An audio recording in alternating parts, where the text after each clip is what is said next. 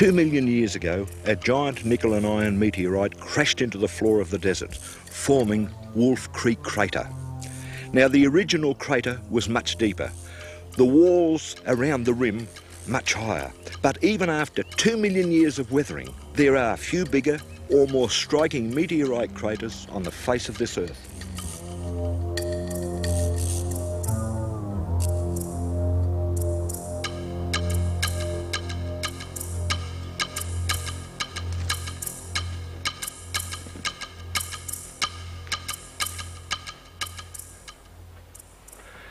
This has been known as the land beyond Australia. Now, southwest from here, Wolf Creek Crater, it's 2,000 kilometres to Perth. Southeast from here, it's 3,000 kilometres to Brisbane, Melbourne, Sydney. But either way, most of it is over semi-desert. But due north from here, completely different. Let me show you. This is where we are, and Wolf Creek marks the way to the East Kimberley. And I'm going to roughly travel through this area.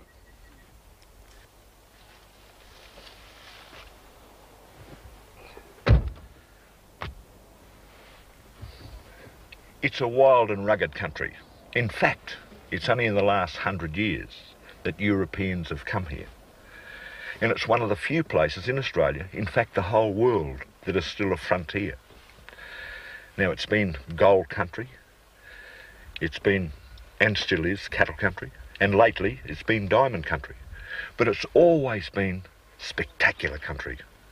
And to me, its greatest treasures are still its natural ones. Now why don't you come with me while I show you what I call the jewels of the Kimberley.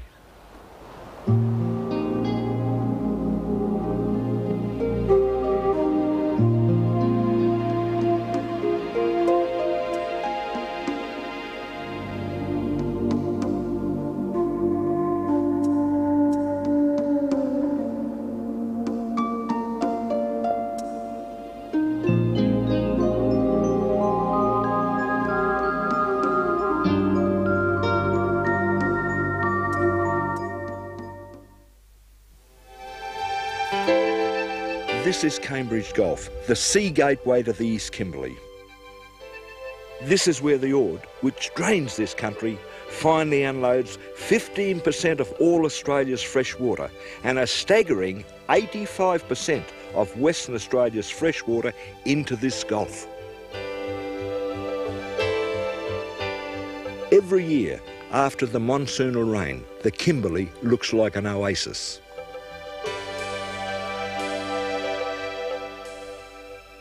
When Alexander Forrest, the first European explorer, came here, he saw magnificent wild pasture growing all along the valley of the Ord. And he declared straight away that there was enough grass here to feed a million head of cattle. The government immediately opened up this country for settlement. Forrest's report made the Kimberleys sound like the promised land. Now, it wasn't really that good, but it was much better than the country that the settlers had crossed to get here. The settlement of the Kimberleys is really a story in two parts. Over in the west, they brought their sheep by sea and settled. But the real story to me is these epic treks where they came from Queensland and South Australia overland through drought country, waterless, then had to negotiate tropical swamps and that's what they got here, infested with crocodiles. These treks are even unmatched by anything that happened in the American Wild West. And possibly the most notable of all these, the most notable family, would be the Duracks, that travelled 4,000 kilometres, two years to get here, to settle this.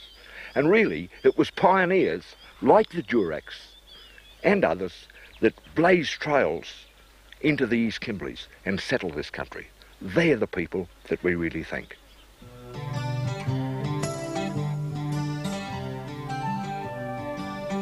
I find one of the remarkable stories of this era was about a young girl, Mabel Bridge, and her family They had left Queensland in 1894, and this is how they travelled. Now, this 10 year old Mabel, she wasn't supposed to have gone, but she refused to be left at home. Now, it was just as well she did come, because one by one the stockmen deserted, and Mabel had to take over the driving of one of the wagons. Now, without her help, there's no way they would have got here.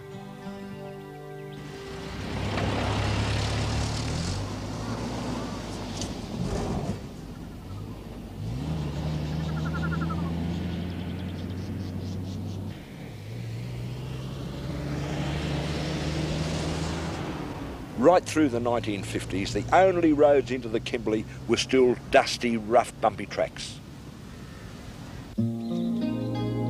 Now, not many travellers came without a good reason. But when they got to places like Mabel Downs cattle station, it was like coming to a small town because there was no towns up here and you could always count on a friendly welcome.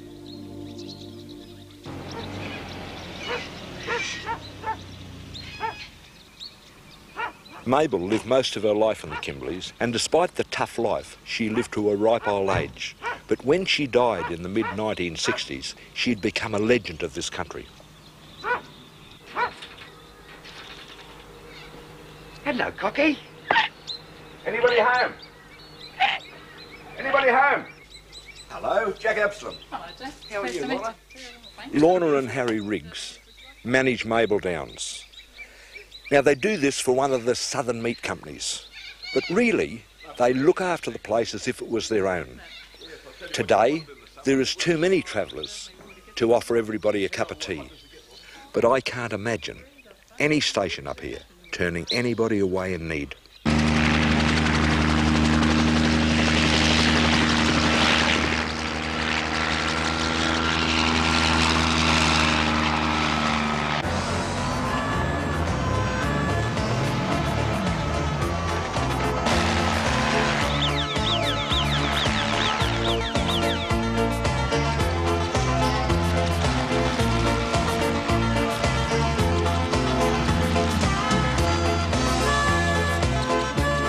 By Kimberley standards, Mabel Downs is a pretty small station. Actually, it's a million acres and it runs something in the vicinity of 16,000 head of cattle.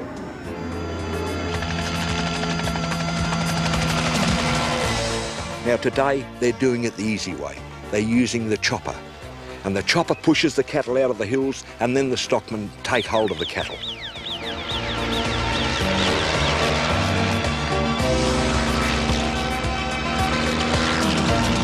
Today, in a half a day, they've got 900 head of cattle.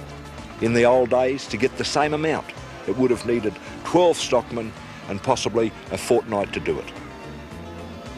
Up here, mustering, drafting and branding starts at the end of the wet season and it goes on for something like four months. Now, this is all open range. There is no fences, so it is very important to have regular musters so that they can brand the calves and especially cull out the wild bulls, the scrub bulls, so that they can improve their herds. Maggie Lilly is no stranger to this scene. She was born in the Kimberley and she and her husband worked the station that adjoins Mabel Downs. Maggie, do you think the stockmen of today have it hard? No, no, they haven't got it hard. They've got good males and everything like that, uh, and the cattle are brought into them, and they don't have to work near as hard. They got paddocks to put the cattle in. Well, one time you mustered them and you had to brand them on the spot. And you had to hold them all night, like you, you know where yeah, if you didn't have a yard, you had to hold them all night. So you were going all day and all night too. That's very interesting. Yeah. What would you have sooner done? That, or would you sooner have it as it is today? Oh, I think the old days were very good old days. You're very loyal, aren't Your you? Your horses, you, you treated your horses and your cattle a bit different. Today they seem to trot them along a bit. a bit too rough on them, I think. It's a tough, hard country. In fact, in the olden days, a lot of the cattlemen wouldn't even bring their wives to the Kimberley. But of course, there was Mabel Bridge and Maggie Lilly, who came here and proved that the women could hold their own with the men. And really, I count them both as true jewels of the Kimberley.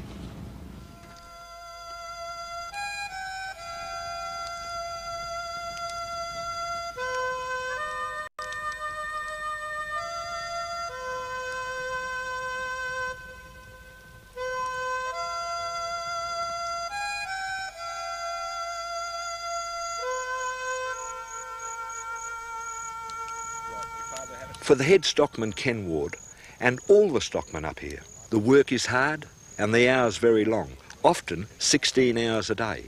You're serious? You can't get blokes to work here? No. There's um three blokes come here not long ago. There's one still here, two left after seven days.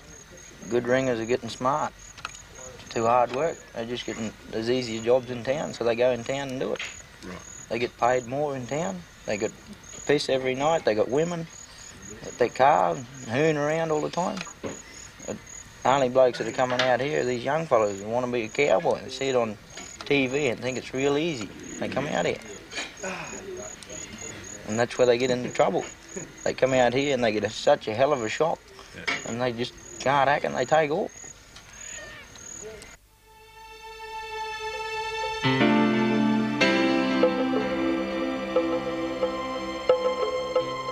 For more than 70 years, cattlemen were the only European settlers in the East Kimberley. Then suddenly, in the 1960s, all that changed.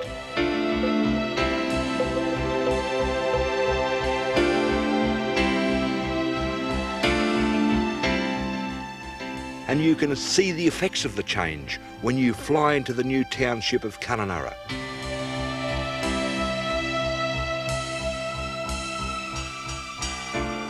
The early explorers, like Forrest, always believed that the Ord River plains would grow almost anything, given the water.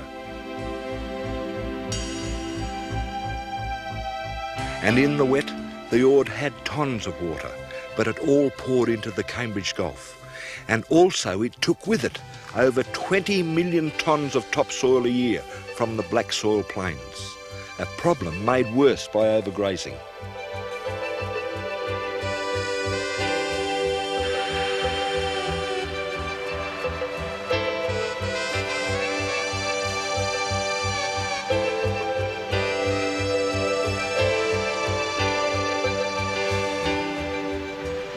Plan was devised to dam the Ord, to turn this cattle country into closely settled crop growing farms.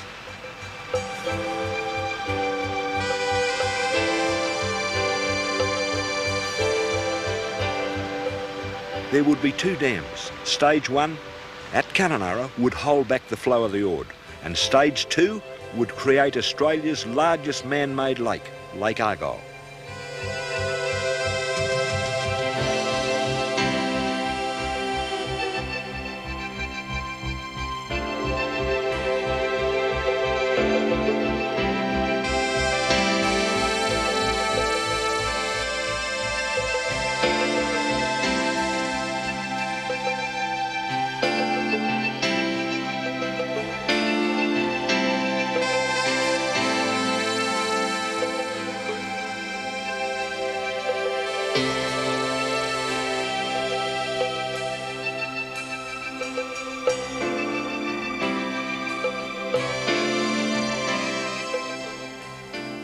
It was a great engineering scheme, but in some people's views, it is still thought of as one of the great mistakes of the 20th century.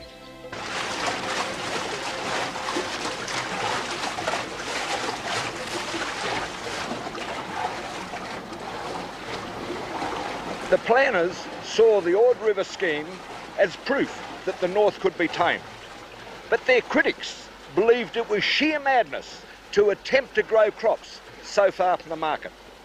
But the growers weren't looking to the south for their markets, they were looking to the north.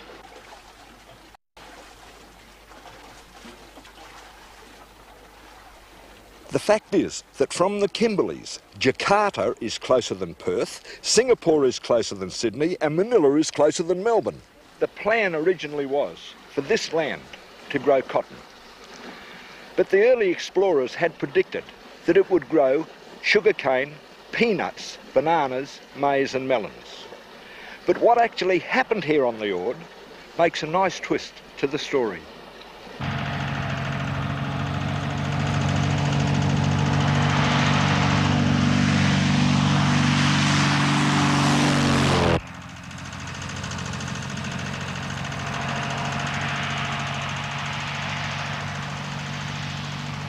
1960s was the age of monoculture, or growing one crop over vast areas. In theory, that meant better economies, but in practice, it was a nightmare. Pests and diseases appeared on a scale that had never been seen before. For 10 years, they tried to grow cotton. The last crop of cotton on the Ord was sprayed 45 times in one single season. They gave up on cotton. Meanwhile, on the new waterways, the bird life was multiplying, and that was a pity, because the next crop that the Ord River farmers were told to grow was rice. The wild birds feasted. The flocks grew to plague proportions. The Ord farmers went out of rice. In fact, just as the Great Dam, Lake Argyle was finally filling up, the Ord River scheme was hitting rock bottom.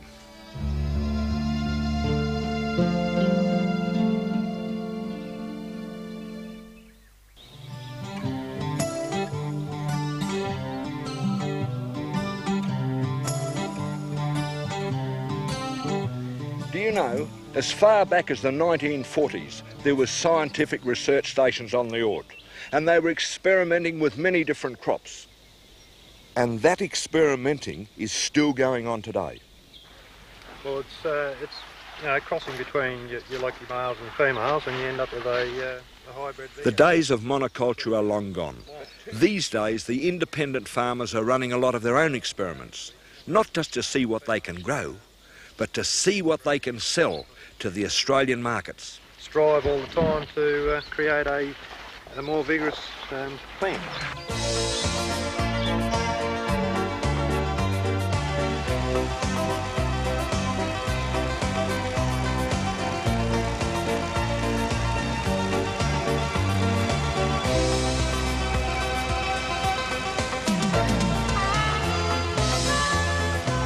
Rocky Lurch was a sugar farmer in Bundaberg.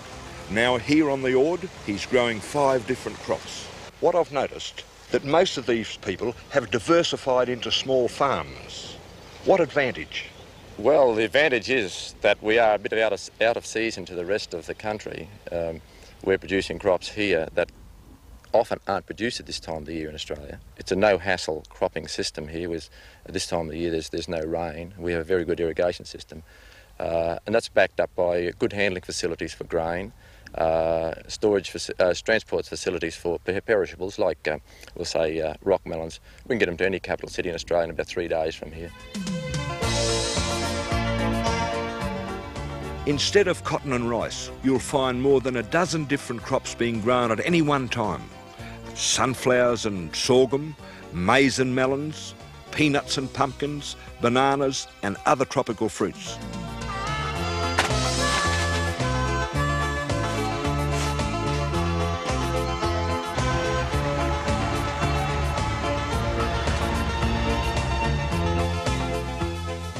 One of the things I've noticed about the tropical fruit growing up here on the Ord is that it's big and it's delicious.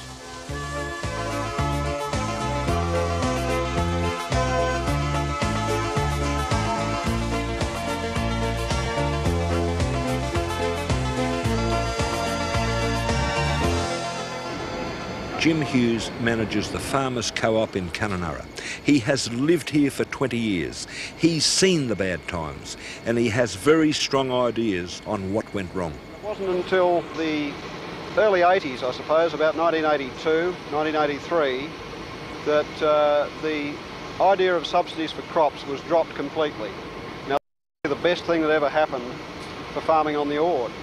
We got back to a situation where each crop had to stand on its own economic merits, and uh, all we've seen since then really has been progress. The Ord River District Cooperative has uh, served a number of farmer industries over the years. Uh, at the present time we're milling and grading peanuts. Uh, we're also cleaning some seed and loading out grain through the facilities at the moment. At the present time, we're really short of farmers as far as agriculture is concerned. We could do with more people here farming. We could uh, sell more product than uh, we have grown for us at the present time. Probably a pretty good sign, really. We've seen a substantial change in the, in the facilities that are available for people in Kununurra in recent years. We've uh, had a nice new leisure centre built, and I guess all of this adds up to uh, making it quite an attractive place for people to come to. Now, the twist of the story to me is this that for all the advances in science, the crops that do best here are the ones that were grown 40 years ago by the pioneer researchers.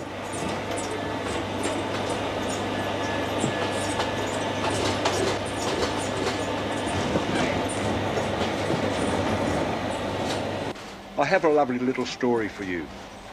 The Premier of Western Australia, Brian Burke, on one of his trips to the Ord River scheme, made the statement that it was a white elephant and it would not be viable this century. Now, Rocky Lurch here thought he was wrong and was going to prove him wrong. In fact, he named his product the White Elephant brand.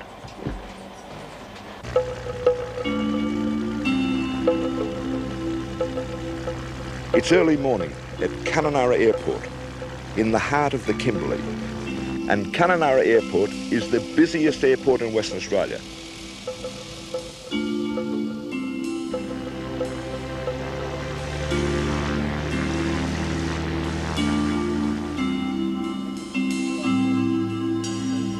Now, all these tourists are going on a scenic flight to what has become known as the lost world of the Bungle Bungles.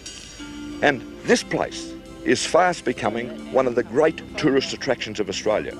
Now, we're going there too, but I'm going to take you by road because by road I can show you a lot more of the unusual aspects of this place.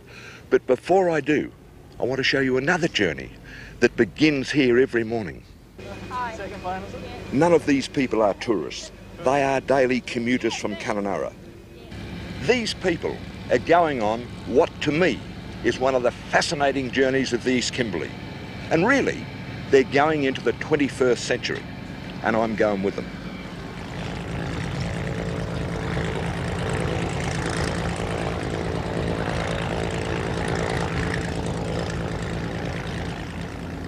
Of course, they've all made this journey hundreds of times before. That's why they don't even bother to look at the view. Was the explorer Forrest coming through here in 1879 who first named this country Kimberley. Ten years before, prospectors had given the same name to a place in South Africa. Now that's an interesting coincidence because over a hundred years later, Australia's Kimberleys is also becoming world famous and for exactly the same reason. Cut off from the world in the rugged hills behind Lake Argyle lies what is now the biggest diamond mine in the world.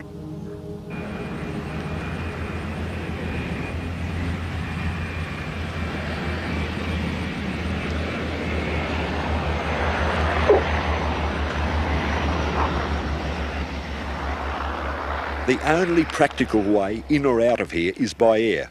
And once you get in here, nearly everything in the place is futuristic. This is the most modern mine in Australia, and it's also a bit like being in a James Bond movie. Oh, here's my girl. See you later. Yeah, cheerio. How are you? Well, thank you. That's Good good. morning. Yes. This is magic, isn't it? Wonderful weather. We're on our way to the mine, but first, I want to show you where most of the people that work here live.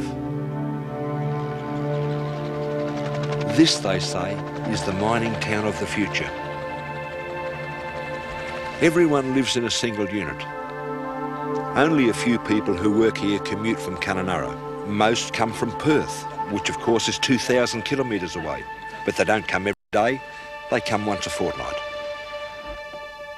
They jokingly call this the Club Argyle. They swim a lot. Every night every morning. This has got to be one of the most pleasant places I've ever been in the outback of Australia. But I wonder what the old Kimberley gold miners and prospectors would have made of all this. Gold prospectors were among the first settlers in the Kimberleys. Now, the rush was short lived, but some of the old prospectors must have crossed this ridge.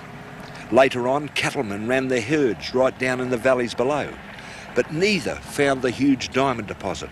And when we get to the top here, you'll see the reason why. Very rugged scenery, and it's really a contrast in colours. So is the road. Uh, well, they tell me this used to be a real rough road before they did it up. It was really quite a dangerous road before they graded this one.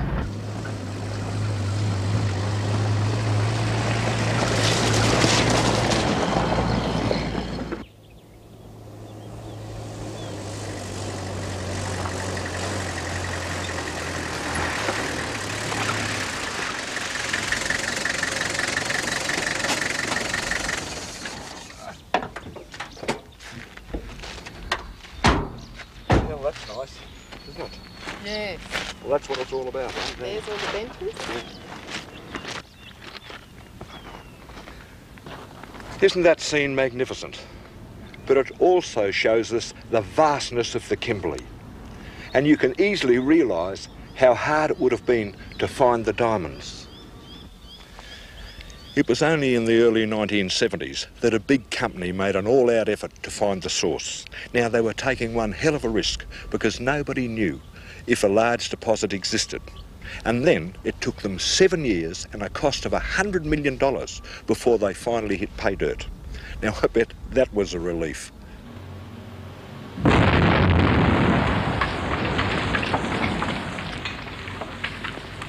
Twenty million tonnes of rock have been blasted away to get at the diamond pipe.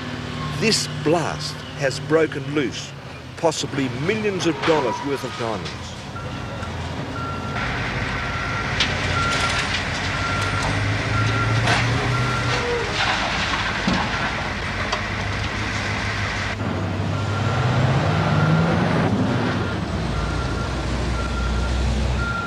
The Argyle Diamond Mine sits on a very rich deposit of lamproite.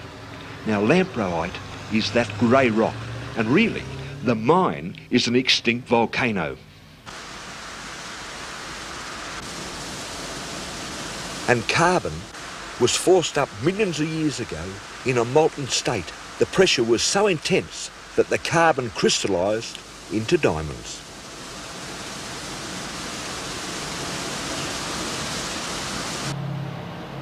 Nowhere in the world are diamonds thicker on the ground than here. But that still only means a couple of grams of diamonds in every tonne of rock, of which only 5% are gem quality. Really, that's like looking for a needle in a haystack.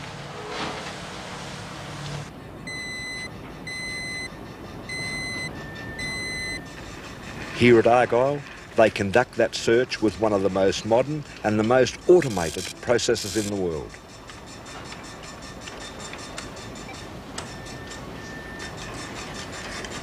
As I said before, James Bond country. The whole operation of loading and carrying, crushing and conveying, even cleaning, is computer controlled.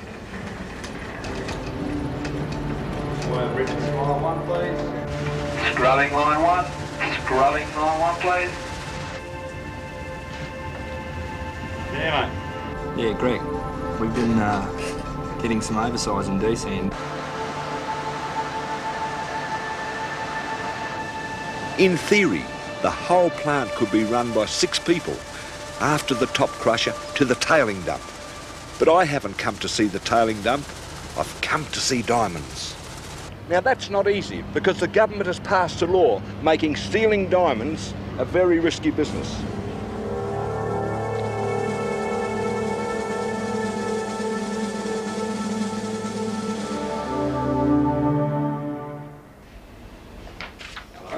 I'm Jack. Oh, Mike Harding. Mike, uh, tell me I can have a look through here. What have I got to do? Um, would you like to just have a quick read through that and sign it? It's, um, it's a declaration uh, allowing us to search you exiting the plant if we require you. Right. That's no worries. Okay. Happy about that? Yeah. And it's a key card so they can get into the plant and helmet and glasses. Glasses, no worries. See you later. No problem. Have a nice time.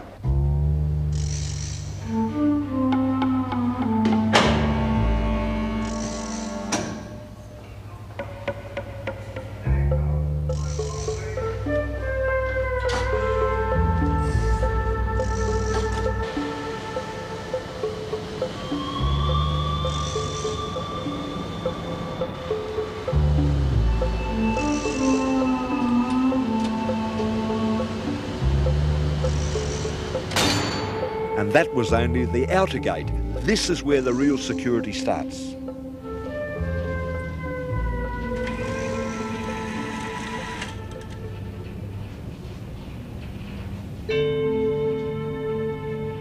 In here, I'm as close to the end of the production line as I'm ever going to get. But I still have to look through a bulletproof glass. I don't think they trust me. Just a few of nearly 30 million carats of diamonds that are coming out of this mine every year. That's about five tons of diamonds a year. Rough diamonds.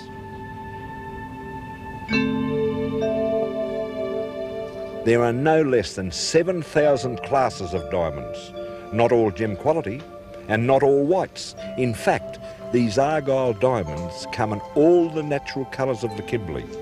Nor are the whites or the bigger stones always worth the most. One of the Kimberley pinks, cut and set, weighing no more than two carats, has been valued at over $2 million.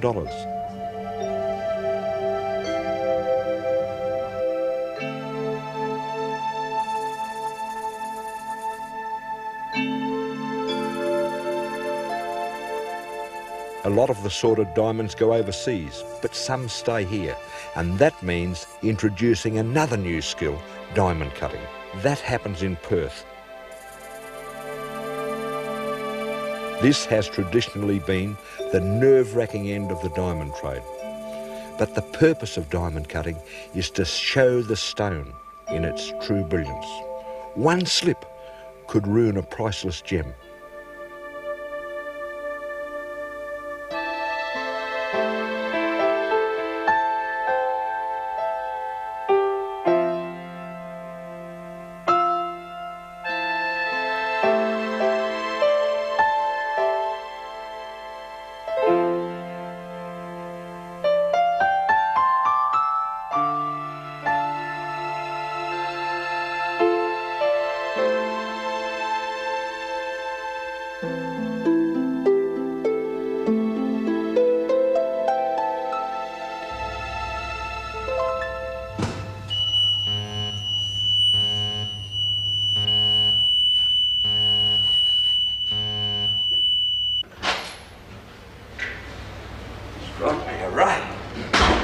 Tell you what, they're thorough in there. I tell you what, mate, in most places they give you a little specimen, but it's very, very hard to get one here. See you later.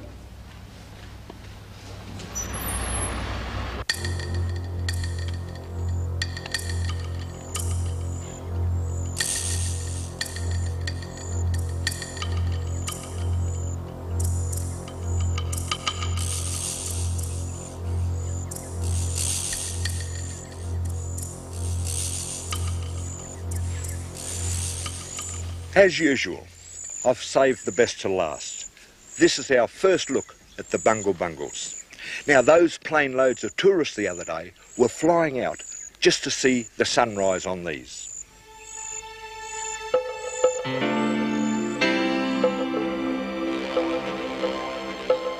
I believe that within five years, these will rate with our best tourist attractions, our Kakadu National Park, our Barrier Reef, our Ayers Rock.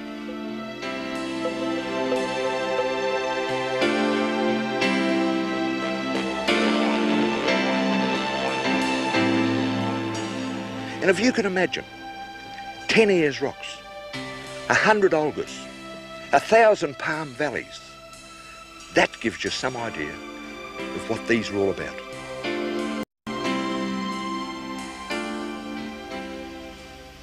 Some people have called this the lost world of the Bungle Bungle, but that's not strictly true. It would be more accurate to say that in the last few years, the Bungle Bungle has been rediscovered.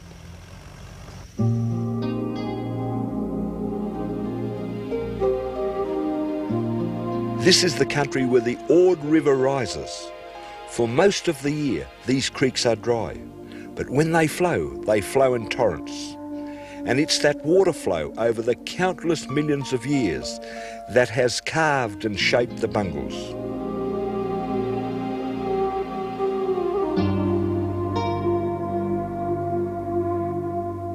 This is a very ancient sandstone plateau and it covers 700 square kilometres and its outer edges are these extraordinary beehive domes. They say the Bungle Domes are the most spectacular example of this type of formation on the earth.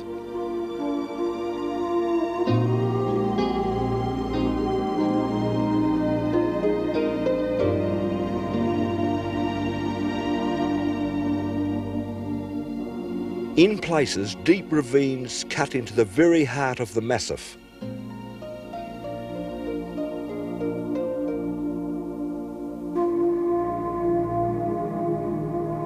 Some of those canyons are so steep and narrow that they never see daylight.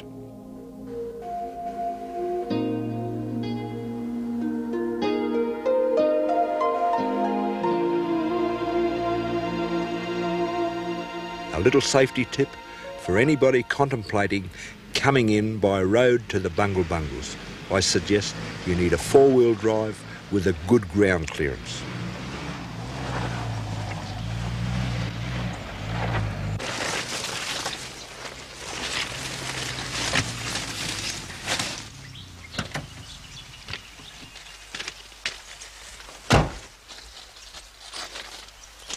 I've travelled about 60 kilometres from the main road on a dusty, rough road. And it's taken me roughly five hours, so that'll give you some idea of how rough this track is in here. But when I get in, right, it's really worth it. Marvellous. But from here on, the only way I'm going to see this country is by foot.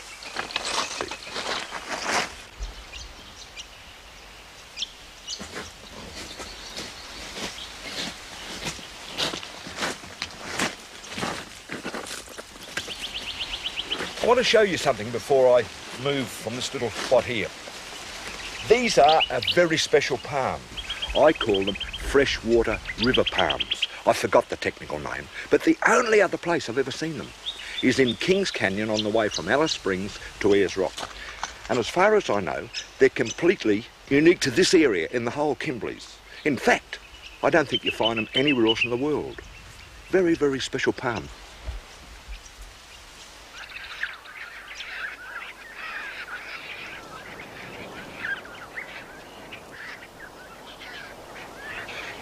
This is a very typical example of the beehive domes of the Bungle Bungles.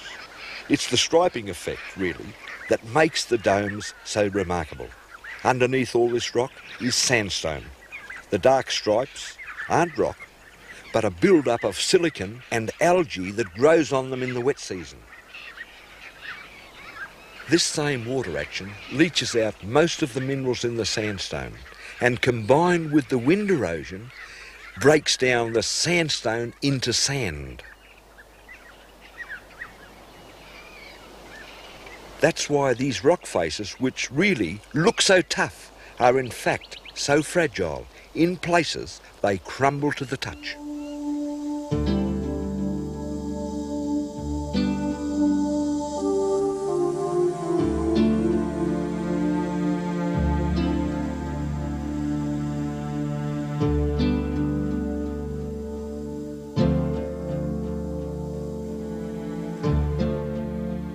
This is the best representation of these of anywhere in the world, and I'm proud of that.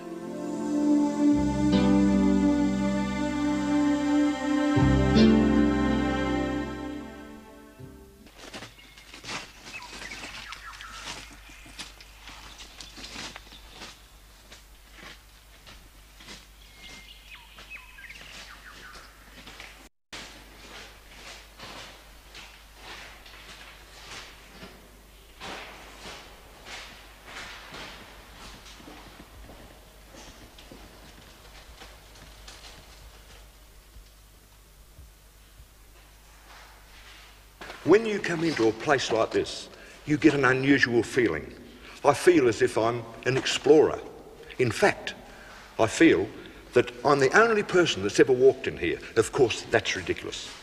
But do you remember when I said to you, 10 Ayers rocks, a 100 Olgas, or a 1,000 Palm valleys? You can add to that 20 Standley chasms, because that is what this is all about.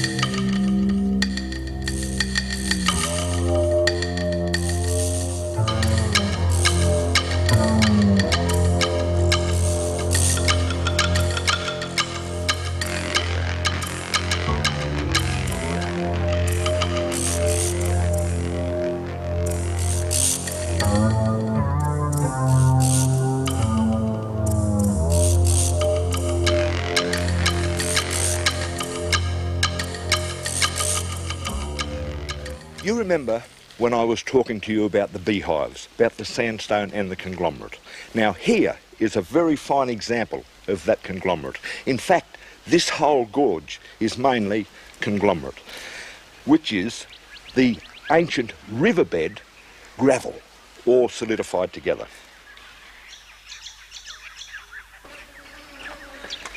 This is the cycad palm, one of the very rare jewels of the Kimberley. At one time, the whole Kimberley area was covered in rainforests containing these. Why it's so special, it dates back to the time of the dinosaurs, over 170 million years ago. Today, just found in a few isolated pockets. Now, I apologise for having to bring sex into this, but if you have a look here, you see the female, and this is the flower. And if you look closely, it seems as if it's laden with eggs, just waiting to be fertilised by the male.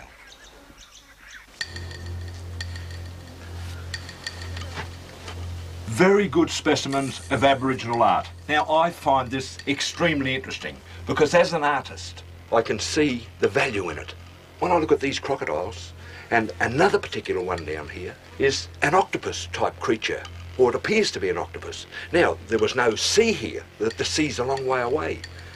And uh, it makes me wonder if uh, probably one of their relations come to visit and uh, he said, look, I'll show you what I do and showed them an octopus. That could have happened. Uh, the crocodiles possibly, uh, the Ord River's only say 40 kilometres over here, they would have seen them there, which again indicates to me that it was possibly nomadic uh, group of Aborigines moving around the edge of the bungles to a new campsite. There's another little interesting thing down here. There's a paintings of hands, but they're very, very small. I think they were children. Possibly uh, while Dad was doing these, uh, they've put up their hands and done some of their own. Uh, probably all budding artists, I'd think. Want some more? We want some more down here. See? That's right. See, another one in there. See, see that now?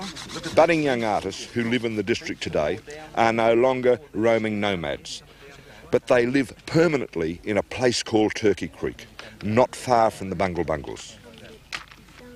Sister, what did you used to do before you? And what is different about this school is that it is run not by the public school teachers, but by the elders of the community, helped by the Sisters of St. Joseph. What do you think of that? Do you think I've messed your painting up, eh?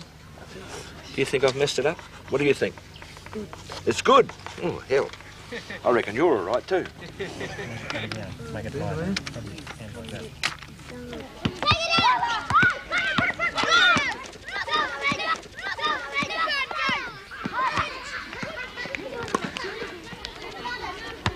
Not only are they being taught the Australian school system, but also to retain and understand more of their ancient culture.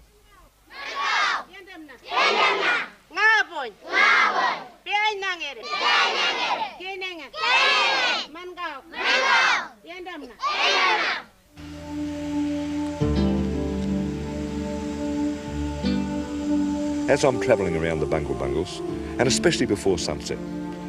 The urge for me to get my paintbrush out is often too hard to resist.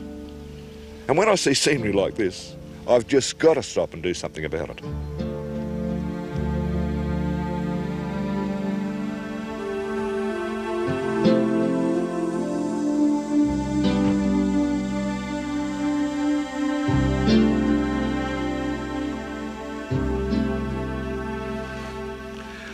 I could paint it here for 12 months or more. This is a painter's paradise. Now look, you have a look around while I get on with it.